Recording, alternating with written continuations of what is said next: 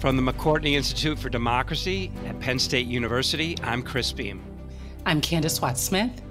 I'm Jenna Spinelli, and welcome to Democracy Works. This week we are talking with Kevin Munger, who is an assistant professor of political science and social data analytics here at Penn State, and author of the new book, Generation Gap Why Baby Boomers Still Dominate American Politics and Culture. And you know, as we've said on the show before, Candis, you and I are both millennials, and Chris, you and Michael are both boomers. So we really personify on the show a lot of the things right. that Kevin talks about in his book. And it's, you know, it's easy to laugh about memes like okay boomer and you know things like this but i think kevin's work really shows us that underneath all of that there are some really really pressing issues that are worthy of our attention and our consideration. Yeah, I think that's right. I mean, obviously, there is something you know pretty fundamental going on when you have a phenomenon like the boomers just in terms of their their sheer number and a number alone right? I mean they're going to have an impact on society at large. I mean you know they talk about the pig through the python. At every stage of their lives they are going to impact and dominate the society the society as a whole. But now these boomers are well, let's say it, old, and so they're becoming they're they're growing into in terms of the lifestyle that or the life cycle, kind of the uh, pinnacle of their power in terms of politics and especially and especially politics and economics, and that's reflected in our politics it sets up this kind of conflict that Kevin sees on the horizon and that that has serious implications for our politics right now and in the near and medium term future. So just to be clear, boomers are people who were born Americans who were born between 1946 and 1964 and millennials that is a term that we often use to mean young people, but the eldest millennial is 41. So they range from 1981 to 1986 or 1996. And, you know, we tend to talk about millennials in terms of um, like the me generation or snowflakes or super super entitled but they are also a group that is one of the most diverse generational mm-hmm. cohorts. They are part of the biggest part of the working work like working americans. They are a large part of the american electorate. And, you know, the thing is, is that, you know, each generation, we, you know, we can talk about like how real or not real these groups are, but, you know, by trend, on average, members of each of the generations have very different experiences and you know come to age in different political moments and different economic moments that shape their lives and outlooks. And so yeah while we tend to as you said chris kind of joke around about you know, hey boomers or entitled millennials, that there are you know, particular sets of political, economic, and social interests that are shared across generations. And when we see that one group dominates having a say on the policies and politics and we have a problem if we're supposed to you know be living in a society where people who have an interest at stake should be able to have a say either in the mass public or as political elites. Right. The other thing that he that Kevin says is is really important is the idea that there's a form of media by which this experience is conveyed, is mediated to these individuals. So for baby boomers, the big thing is the three networks, right? There were ABC, CBS, and NBC, and that was the only TV you could get. It was all over the air. And, and these were shared experiences. There wasn't an American who didn't know who Walter Cronkite was.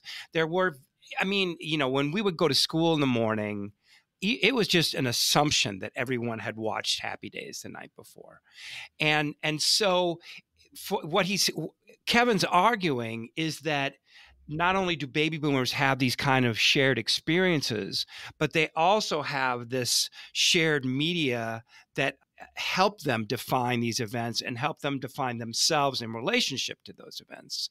And so there's a double whammy in terms of baby boomers' power because there's so many of them and they're so cohesive around as a result of this shared media. And he says that's not the case anymore.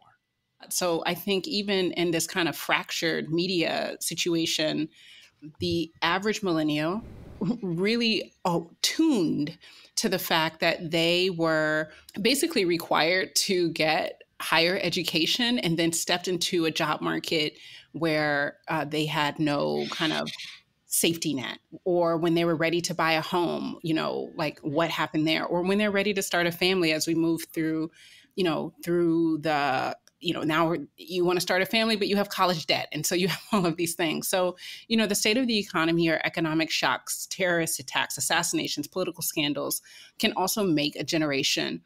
I think you know like my son's generation and gen z so my son's generation is not named yet but gen z you know, are probably tied together by school shootings or drills or that drills, might right. happen by school shootings Or or, COVID. COVID right? So, you know, I think that shared media is important, but we'll also keep in mind that generations are shaped by many things. And that I'm not really sure that the average baby boomer goes around thinking about themselves as boomers, but as people who experience a very particular social, economic, and political milieu that is very different from the one that we have now. I mean, I do think I, I disagree slightly with your characterization of the 60s. I do think that there is, you know, this kind of identity, not as being a baby boomer, but, but as being a child of the 60s Mm-hmm. and growing up and and in this this tumult right not just of civil rights but also of women's rights and Mhm. of you know radical politics and Mhm. drugs and sex and all these things Mhm. against you know against the prevailing mores that events media all combine to create this distinctively uniquely powerful generation in american politics but in politics the world is changing and and politics is the means by which we adapt to those changes and and move our society forward in ways that is more productive more more responsive to this world in which we find Mhm. ourselves right Yeah, I think that's that's well put, Chris, and a really a good synopsis of, of a lot of what Kevin talks about in the book and in this interview. So let's get to it. Here is my conversation with Kevin Munger.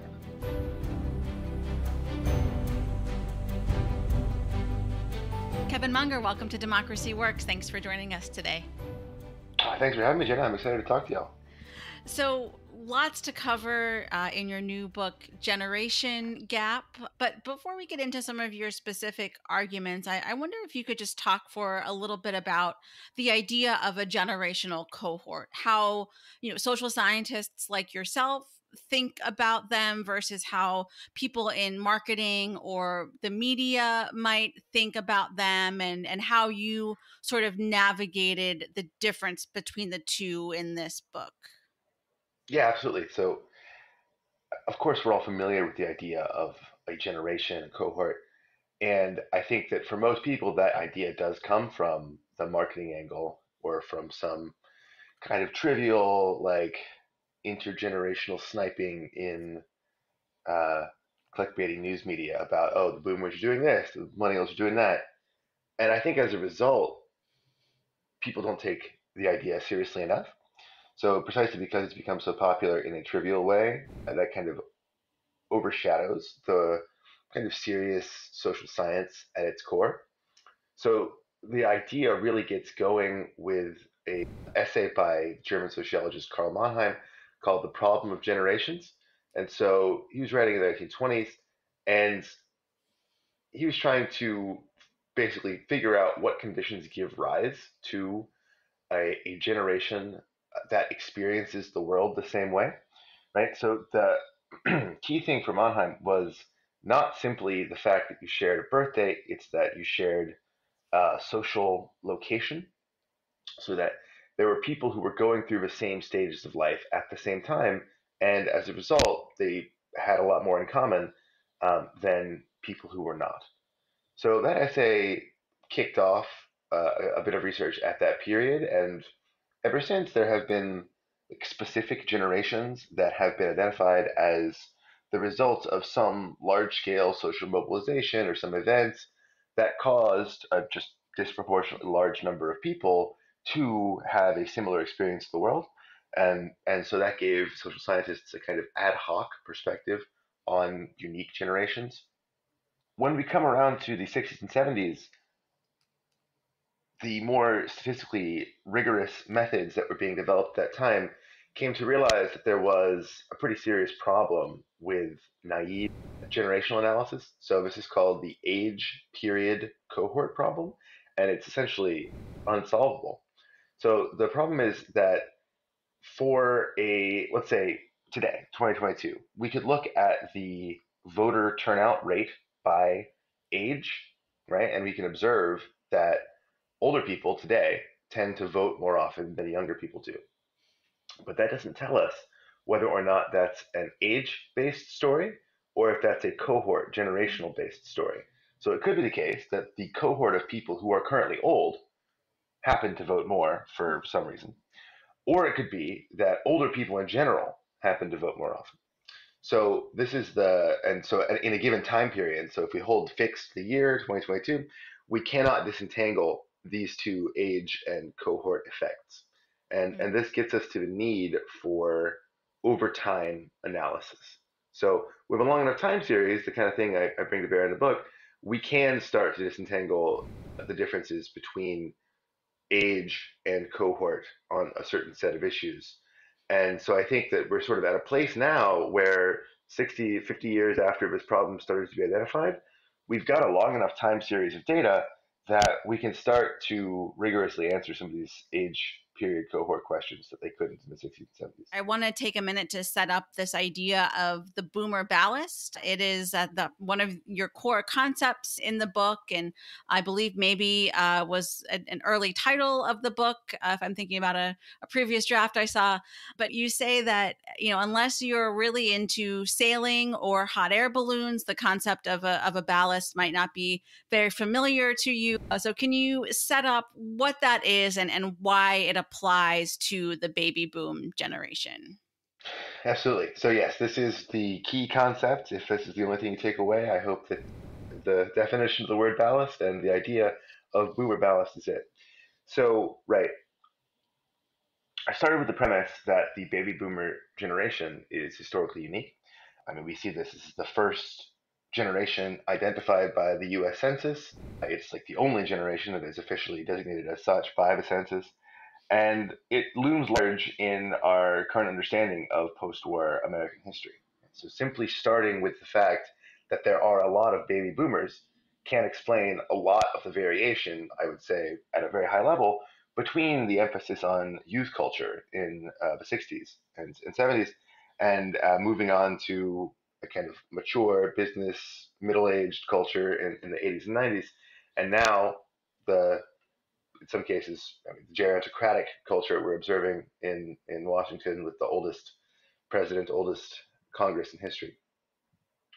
So the idea of ballast, I think, helps explain the role that boomers have played in American politics and culture. So ballast is something that's designed to keep a vessel steady, right? So a hot air balloon could go sailing into the sky in the absence of ballast. These are the sandbags you see on the side. And of course, if there's too much ballast, the hot air balloon can't get off the ground.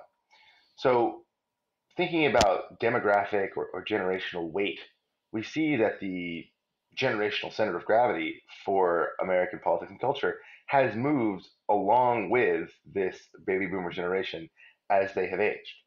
So, this means that in some cases, our culture has been changing less quickly than it otherwise would. And, and presently, as the boomers are kind of at the top of the age distribution.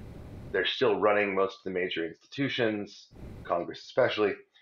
And as a result, I think this is putting some tension on the rest of younger generations who would like to change things and like to like reshape the world in their own image, as every generation wants to, and they're a bit frustrated that they are unable to do so because of the demographic weight of this boomer ballast. So let's talk more about the media. This is another big component in your book. I mean, the US is a very large country and there's a whole lot of people in them. And so, to the extent that people have a shared experience, it is because of shared media consumption, right? So, I think we can start telling a story about the coherence of the boomer generation as such.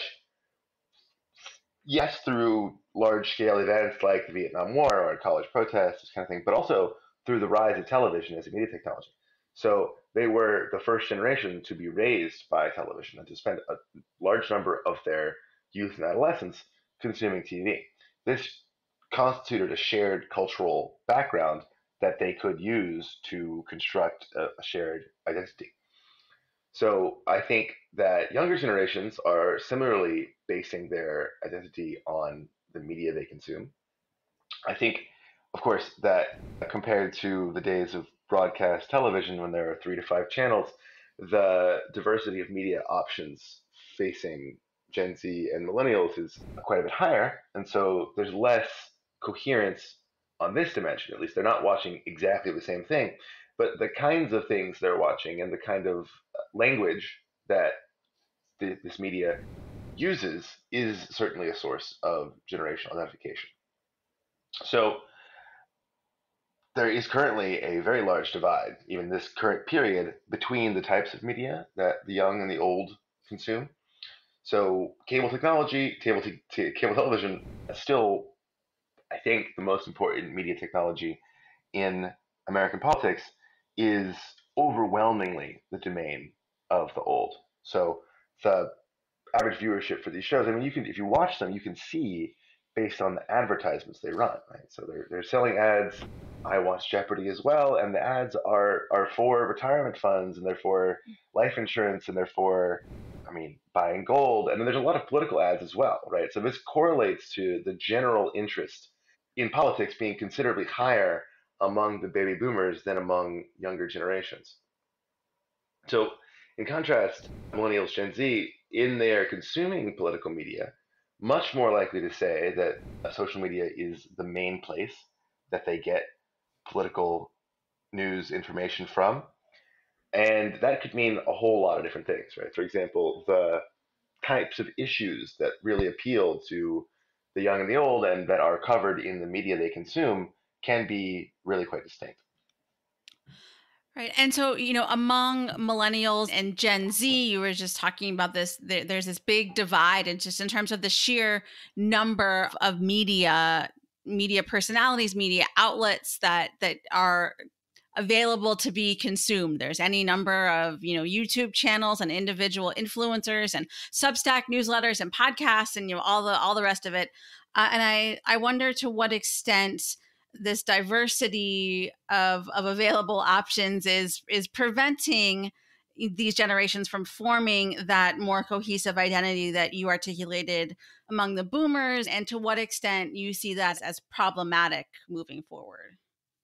I do think that the let's say just general experience of a twitter feed or an instagram feed is a kind of similarity even if the content is not the same. The basic framework through which younger generations experience the world on these platforms is a shared location, at least. So that is is something I, I would say I, this is very much unsettled, right? So generational identification tends to get stronger as as people get older. All, all kinds of identification do. So that I would say is an open question, but I think that the younger generations are more diverse on a lot of dimensions. So it makes it somewhat difficult to tease out what is causing the relative fragmentation. Mm. So clearly, the younger generations are much more racially diverse than are the baby boomers.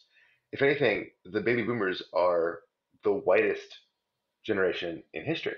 So this is specifically because of patterns in US immigration policy. So during the early parts of the 20th century, in the just like a romanticized period of Ellis Island and immigration on the West Coast, right, there's a lot of immigrants who are coming to this country during that time period. And so the percentage of foreign born is very high. But then they change uh, the immigration policy largely because of uh, xenophobia, World War II, and it remains very low, such that when the boomers are being born, that's kind of the low point of immigration to the United States in the 20th century. And then there is the process by which certain ethnic groups become uh, deracialized. So that is the concept of the category of whiteness expands, right? So during the early 20th century, groups like Irish, Italian, Jewish immigrants were racialized. That is, they were considered an other group who were not part of the mainstream white American society. And then throughout the 20th century, they, they became deracialized and they became white. And I guess that's a theme I, I've come back to the book to a lot is that mid-century America, post-war America, and the baby boomers are for my generation and sort of everyone alive today our conception of what normal is, right? And this mm-hmm. is actually a consequence of the demographic weight of the baby boomers. Like their experience, because there's so many of them and they're so powerful, has come to be seen as the default experience mm. for Americans. As you said, we have this gerontocracy in some ways with, you know, all all three branches of government. The the, the sort of leadership is very old in, in their their 70s or who are older in some cases. But you you also look at when this this of course you know prevents younger people from running for office in in some ways but you know you do look at people like AOC and, Madison Cawthorn who have kind of bucked this trend uh, and you know you think about they have they have a strong social media presence and really made a name running on the extreme ends of their parties. Do you is, is this what people from the millennial and gen z generations need to, to do to, to be successful and to you know get break through this this boomer ballast? Or do you, do you expect that we might see more of these types of candidates moving forward? So this is a big point of tension right? So the similar to the housing situation so i think it's helpful to characterize certain institutions which are more or less zero sum right? So housing it's not really zero sum but it's not that elastic, and we haven't really started to build as many houses as we need. And so there really is a situation where if when a, a baby boomer who's been living in this house for 40 years leaves, it is just one other millennial or, or other younger generation who gets to have that house. Uh, and that's the case for house seats as well. So seats in the house are entirely inelastic. There's a specific fixed number of them. And so the fact that there have been such a large cohort of people who have been serving together for so long, and the incumbency advantages means that there are just uh, numerically going to be fewer millennials who get to serve in Congress. And I think this problem is exacerbated by our two party system, the two party mm-hmm. system being downstream of our electoral institutions. And I think we can see this through comparisons to other democracies. So most democracies have different electoral institutions than we do, like the key ones being a uh, non-single member mm-hmm. district uh, and non-winner take all voting. So you have a parliamentary system such that if you get 20% of the vote in the country, you get more or less 20% of the seats in the Congress, the legislature. So this means that in Europe and, and parts of Latin America, we're seeing explicit youth focused parties so parties where they really care about environmental issues, but then other issues that are related to uh, millennials in those countries are also reflected. And maybe even more importantly for this aspect of the story, they, they are able to begin to develop a uh, cohort of politicians and political activists. And then once you get a few seats in parliament, then you're able to have a platform to broadcast your message. And this is a kind of virtuous cycle where um, you get a, a toehold and then you can start to attract more members and develop uh, a larger base of activists and donors and a higher quality candidate pool. And so, in contrast, in the US, we only have two parties. And so, for millennials to make inroads to Congress, they either have to work entirely within the system and, and play by the rules of the party establishment, which in many cases can take a very long time to work themselves into a position where they can replace a baby boomer who, who wants to leave, or they can adopt these outsidery strategies that we see from people like AOC and Madison Cawthorn. And I think the thing that the, those two have in common are the their use of social media in a way that is relatable to millennial voters. But at the same time, I, I think you also say that you know these uh, we have to we have to learn how to use our communications technologies all the all the you know social media and all the all the things we have rather than be used by it. That that reminds me of something that I, I, say to my students a lot of you know if, if you're not paying for something then you are the product right? I think that there's there's a lot of that going on. And so how does that challenge play into this this idea of really trying to build and you know work from the local level up you know build these these coalitions from the bottom up yeah so i think that social media can be pernicious in that it offers some illusions of influence and particularly of power, right? So there are a number of theorists who are coalescing around this idea that social media is kind of a, a steam valve by which people can feel as if they are acting in the world. But in fact, this might be distracting from the way in which power is actually wielded, which is developing durable, large scale organizations, communities, groups that can act at you know at scale and over a long time and can plan and can execute strategic actions. So social media uh, certainly allows people stir up energy, attention, get people into the streets even. But we see through many of these social media revolutions that have taken place around the world and social media protests that once people get to the street, that's the only tactic they have. And so this means that, for example, a well organized state, and all of the major states are well organized, can simply wait them out, right? They deploy their defense forces, they, you know, engage in these police actions, and then, you know, a month passes, two months passes. And it's simply not possible for a social media driven movement to sustain energy for that long. And neither is it really possible for them to even make medium term strategic advances, right? So without um, a leader, for example, these, these are often described as leaderless movements and as if this was a good thing. But without a leader, without a structure to think about strategy and then actually bargain with the people in power, you're not able to come up with some kind of compromise. In fact, the only thing that happens is uh, after a while, people go home and people get arrested, and then maybe some things, you know, get torn down or something like this. But the fundamental structures are not actually worried by this, right? And so people were excited about the Arab Spring or whatever, like the early period of the social media movements, and it was effective for overthrowing some extremely outdated, obsolete regimes. But a modern sort of center of power is well organized, and they're easy, easily able to you know, control and manage these kind of social media driven movements. So you know the other thing that that I'm thinking about here is that there's uh, also maybe this kind of not not scolding maybe, but just the, this attitude among boomers that you know millennials, Gen Z, you guys just need to like figure it out. It's it's not our fault that uh, you know things haven't really gone this way. Like you just you need to you know get off of of social media and and just you know figure it out, make things happen for yourselves, just like they would perhaps argue that that they did for themselves. So I, I guess I wonder what what you might say to that. As a common response already, I've, I've certainly experienced it on Twitter um, from self-identified boomers, and it's certainly the case, right? That boomers are not the majority of voters in the country, right? But younger generations clearly outnumber them. That's that's clearly right.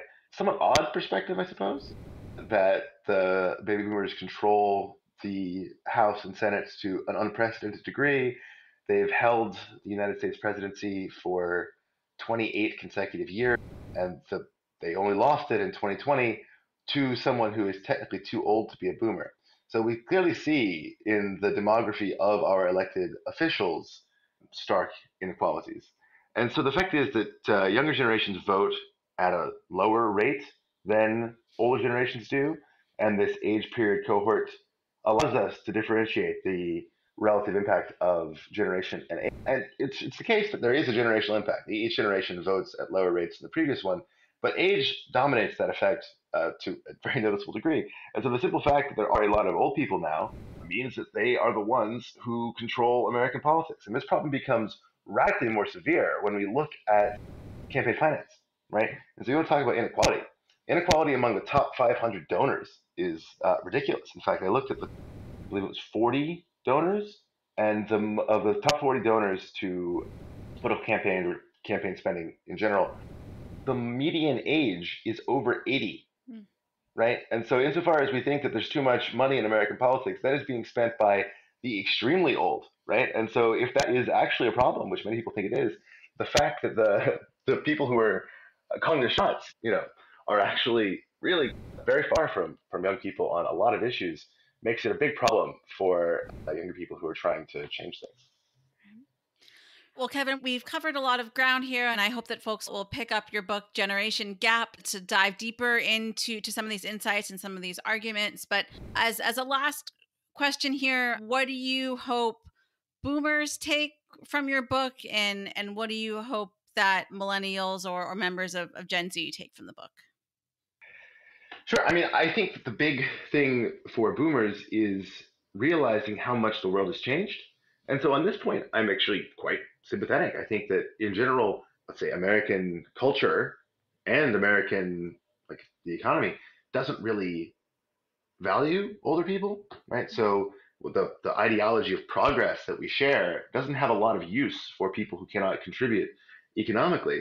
And so the fact is that we have this large cohort of people who a lot of people resent now and who are somewhat alienated from contemporary culture and society but didn't necessarily do anything wrong themselves. They just played by the rules, did what they thought was right. And now they're in this position where they're sort of under attack. And so I, I think that's not a good place to be. But I think that the kind of a, a point where some compromise might be reached is just realizing how much the world has changed. And I think just looking at the demographics is a stark story, right? And so there is a bit of whiplash going on, but we have to move past this idea of the boomer experience as being the default or normal on basically every dimension and come to appreciate that the world really has changed. And that was like, in some ways, a kind of golden age of shared prosperity and growth, at least for white Americans, one that is uh, likely never to return and is also somewhat unprecedented in a comparative analysis of the world. So I think that wider perspective should help baby boomers come to appreciate their place in society today and toward the younger generation, I you know I think there's something to be said for the idea of getting off social media, right? So this, this does seem to be a um, significant problem for the growth of like genuine democratic power in the country, and also just sort of a, a kind of new thing that's come along, and is we don't really know what it does yet. So I think that the the faith in this entertainment technology that is optimized for selling ads to produce good democratic outcomes is a bit silly, but that doesn't mean it can't be useful. Just that the main way that democratic power operates is still the same as it was organizing political parties and actually uh, taking power. Well, we will leave it there. Kevin Munger, thank you so much for joining us today. Thank you. It's been, it's been a great conversation. I appreciate it.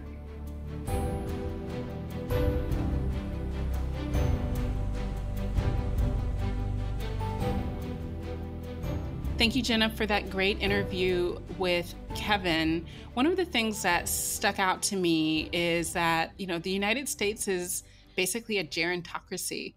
It's, you know, quite elderly average age in Congress and yeah, oldest know, in history. That's what Kevin says. In yeah. history, amidst the most kind of most important revolution in a lot of things, right? Like in communication, in the problems that we're trying to solve that we're facing. You know, when the first boomers were born, the average life expectancy was about 63 years old. Today, boomers can expect to live to about 79. Mm-hmm. Joe Biden is 79. And that's even that's when when they're born. By the time they get to be 65, if they get to be 65, their life their um longevity is is going. decades. Yeah. Yes. Nancy Pelosi is 82, Mitch mm-hmm. McConnell mm-hmm. 80, Chuck Schumer 71. Kamala Harris is the youngest at 57. She's born in the last year of the boomers. Mm-hmm. But you know, I think one of the kind of ironies about this whole thing is that you know, people were trying to get RBG to retire so that Obama could replace her with someone who was younger. And of course, like the request was about like ideological consistency on the Supreme Court. But underlying the assumption is that like it's important for older people to move away so that they can be so that those positions can be replaced with younger folks new ideas and even if it's ideological where share idea ideological stripes mm-hmm. but like maybe there are new ideas under the, those umbrellas but we're not seeing that in our you know nation's legislature and you know, this is becoming increasingly problematic, best illustrated by the tensions, the debates around climate change, around college debt, around social security, around gun violence. And the longer we delay on these issues, not only do we have the issue, like the, the fact of the problem getting worse, you know, especially with regards to climate change and housing shortages and things like that. But you also have growing resentment among the people who know they're going to have these effects, having these effects and going to live through these effects and yet don't have a say about it. So so you can you can just see or, you can predict that when this if it doesn't move if, if people don't move off the stage gracefully then it's going to be likely that when they do move off the stage uh, ungracefully, there there's going to be a reaction. So you know, there's all there's this tons of research that shows that older people tend to vote more than younger people. Right. And there are a number of reasons for that, but one of the reasons is because voting is made difficult for people who are highly transitory, mm-hmm. right? Or you know, we think about the power of incumbency you know, just name recognition and having been there gives you a lot of staying power. I mean, mm-hmm. we can see the incumbency rate is, you know, in the 90% or something like that. So we also have a situation where, as you mentioned before, there's been a particular confluence of circumstances that allowed baby boomers to gain, you know, both political power, but also economic power and cultural power. Cultural power. Mm-hmm but they but you know power breeds power and mm-hmm. so mm-hmm. you know they are have also like worked to set up institutions that make it difficult for power to be you know contested yeah, right. to, to, even to fight over. back the other thing that I that I want to say about this whole issue of of of electoral politics is, you know, he mentions that because we are a winner take all system, that's another reason why a, a dominant generation is so it's so easy for them to stay mm-hmm. in power and it's so hard for uh, a competing generation mm-hmm. to, com- to you know to actually win seats and again to develop these skills networks visibility that enables it to compete and you know, he says in the rest of the of the first world, the rest of the democracies in the world, this isn't this isn't happening. There are green parties that are that are run or at least you know prevailingly associated with young people, not boomers but because we don't have we only have two parties there's only you know there's only so much you can do to develop these skills and develop these this standing politically and the point that he brings up about you know if we have proportional representation for example then we would have room for more people to voice a array of different you know you know means to get into politics. I think that's i think that's absolutely right and i think that we can see in many ways how our yeah how the how the rules at hand diminish opportunities for more people to have a say at the kind of highest levels of politics. You know, I think that if, you know, all the energy that was put around Bernie Sanders among young people, for example, if that same energy was put around uh, local politics and and school boards and other kind of entry points for for political power, I just think that's, you know, irrespective of how difficult or unfair that challenge is, I don't know what other alternative there is. So we don't disagree. And actually, I think if we look at local politics, we see that young people are mm-hmm. game. I mean, I sometimes have my students look at the youngest mayors elected. They are young people. I mean, yeah. there are many mayors under 30, you know, under 35 so I, I don't disagree with you that it's important for people to galvanize politically. I think what it is important for us is to pinpoint the fact that there are barriers that could be lifted by people making, you know, different decisions. And those people are people who do not want to uh, give up the power that they have right? Yeah. It, it, right. Given that the way the institutions are shaped, it, it would require them to retire and, you know, at a at, at, a regular retirement age or you know or i mean there ought, ought, to be a point where i mean what is charles grassley going to be i mean he's 88 or something and he's running for reelection i mean you know the, only thing I could see changing the dynamics here is if something, if, if the inappropriateness of that becomes apparent to all. And so then you see a kind of a cultural backlash against the idea of putting an octogenarian in such a position of power. I am not trying to be ageist here. I think it's important for us to keep in mind that a representative democracy has to be representative on many dimensions. And one of the ones that we don't have right now is on the dimension of generations. Mm-hmm. So and and I think if you want to be a little ahead of the curve in terms of where our politics, where our society is going, this book really helps you do that. So thanks, uh, Jenna, for a uh, a really good interview, and Kevin Munger for for coming and telling us about all these things. So, so I'm Chris Beem. And I'm Candis Watts Smith with Democracy Works. Thanks for listening.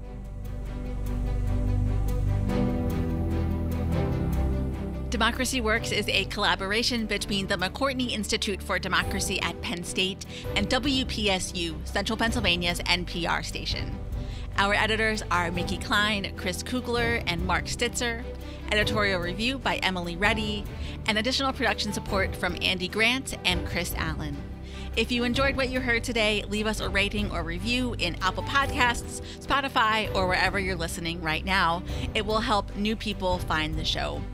Find more great podcasts about democracy and civic engagement in the Democracy Group Podcast Network at democracygroup.org. Thanks for listening, and we'll see you next week.